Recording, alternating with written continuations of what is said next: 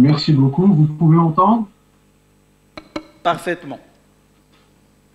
Ok. Euh, je vais faire ma présentation en anglais parce que euh, il y a des matières techniques, euh, donc euh, je vais changer maintenant. Um, this week uh, was our National Day. Uh, St. Patrick took place on the 17th, two days ago. Um, and it is in fact an unusual national Vous- si vous it's celebrated permettez, in- si vous me permettez un instant, parce que euh, je vois de tradu- d'interprétation ici, on n'en a pas. Ah. Un instant, s'il vous plaît, on règle ça tout de suite. Madame l'ambassadeur, vous en aurez besoin C'est bon. Ok. Peut-être que je peux commencer un petit peu en français. You can, no, no, no. You can, you can go ahead now. Okay, okay. Well, this Wednesday, on the 17th of March, we celebrated our National Day, St. Patrick's Day, which is unusual because it is celebrated in many countries around the world because of the size of our diaspora. We are a country of around 5 million people, and we have a diaspora which is estimated to be around 70 million. Um, so there are 14 times more members of the diaspora who claim Irish ancestry than there are people living in Ireland. And this is explicitly recognized in our national constitution, which states that uh, the uh, in its Article 2 that uh, Ireland uh, the Irish nation cherishes its special affinity with people of Irish ancestry living abroad who share in its cultural identity and heritage. So, by way of background, therefore, for us, the diaspora is an enormous resource. Um, we have, in the ministry, we have a section dedicated to diaspora relations. Um, the most important part of our work is to support and strengthen diaspora communities around the world.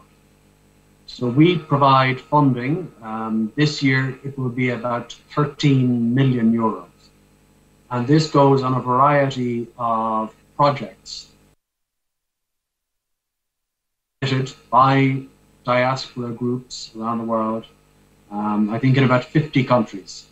Um, and uh, they work with our network of diplomatic missions um, to promote culture, heritage, Irish sport, music, uh, la- our language um, around the world. And this, the strength of those Irish communities and the work that they do is essential because they promote Ireland. They, by engaging in um, sort of cultural, musical, uh, traditional activities, they are creating a visibility for Ireland that we could not, as diplomats, do on our own. Um, we also support network development. So groups like Women in Business, um, academic uh, and research networks are also important parts of the investment we make in our diaspora communities. Um, we recognize that there are important challenges that we need in future outreach to our diaspora. We have to strengthen our engagement with younger members of the diaspora, especially those who are third or fourth generation diaspora, for whom the connection is already quite distant. Um, and we also know that we need to adopt an inclusive approach, recognizing that many members of our diaspora have Irish as one of their um, familial or traditional backgrounds. They may, say, in America, also have Hispanic or African American or Asian um, diasporic uh, connections as well. So we need to ensure that we reach out and say that we're not looking for people who identify only as Irish, but may also feel partially Irish and partially something else.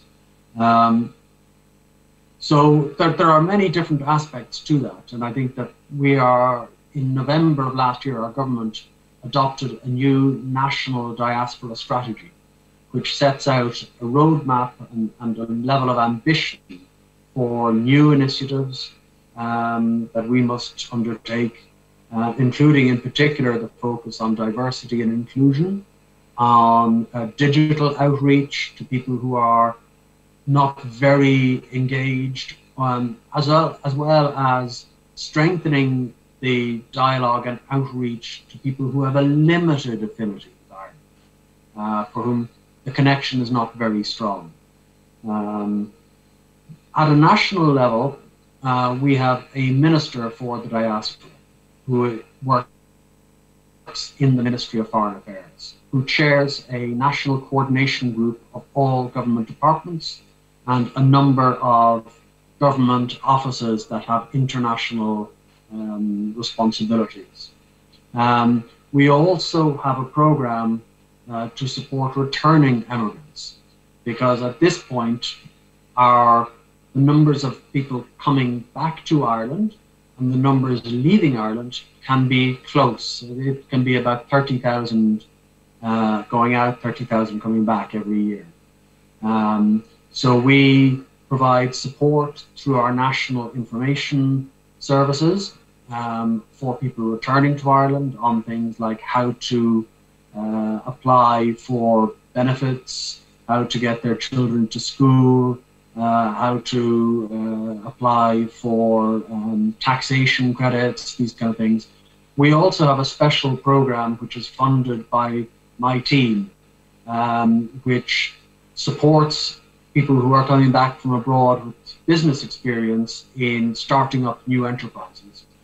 Um, because many people who have been abroad for some years have uh, unique experiences because of that international life, and uh, they have skills that are uh, very useful, but frequently they lack uh, particular um, networks that their peers who are in Ireland uh, don't have. So they they are they're not very well connected. They don't know who to ask for taxation advice or uh, labor uh, law advice, these kind of things. So we we support we do that. Um, I'm happy to answer any questions. Obviously, this is a very wide range of activities, and uh, there's much for us to learn, but we are also happy to share what we can uh, from our national experience. Thank you.